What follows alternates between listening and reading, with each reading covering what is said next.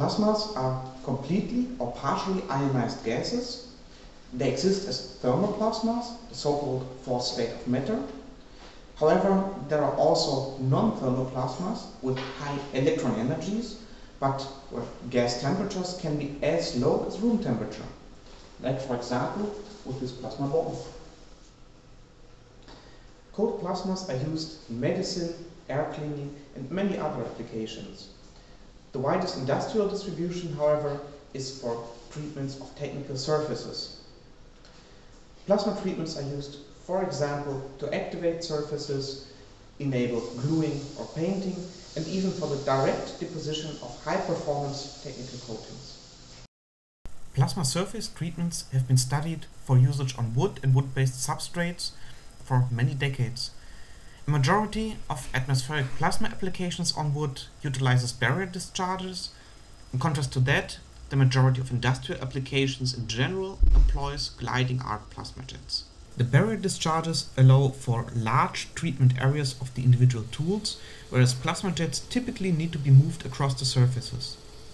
Plasma jets, however, are wider industrially available and thanks to the different plasma composition and temperature they can provide faster treatments in some occasions and more precisely located treatments in other instances.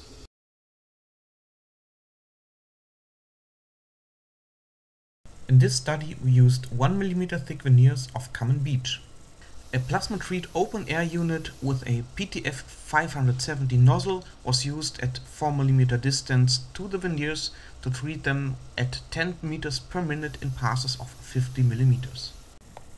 In this case, the plasma treatments were single-sidedly performed and therefore two different kinds of stacks were created, one with equal and one with alternating orientations of the samples. Two sets of such stacks were created, one directly after the plasma treatments and one after a holding time of 72 hours. 45 gram of resin per layer were manually applied. The plywood was formed with a 6 minute holding time at 140 degrees and 230 bars.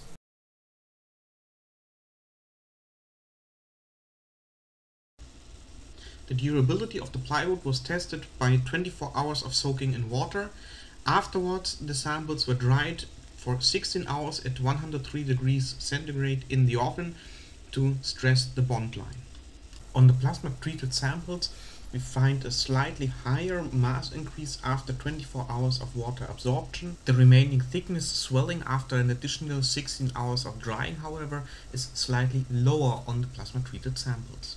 Bending strength tests were performed for 12 specimens per data point. The modulus of rupture did not show a significant difference, but the modulus of elasticity was, on average, slightly reduced on the plasma pre-treated samples. The shear strength tests led almost exclusively to a failure at the rated breakpoint and thus inside the bulk wood material. The results are therefore not representative for the actual bond strength, but for the veneer material. On plasma pre-treated samples, the maximum shear stress to failure was on average 37% lower than on the reference specimens.